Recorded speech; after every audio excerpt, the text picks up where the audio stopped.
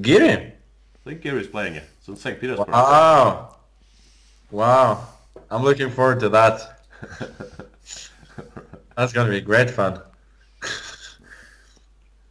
he's he's gonna, he's gonna regret it. He's never gonna play again after this one. Yeah. He's gonna lose to he's gonna lose to uh, Artemiev, Bocharov. Uh, I mean all of the Russian guys. This Artemiev is like 2850 in Blitz. Is he for real? Like, he crushed those European Blitz championships. Yeah, he's, he's good. I mean, he's uh, he has a very good natural feel for for the game, which is is great in Blitz. So I think he's he's legit. All right. Then, yeah, best of luck.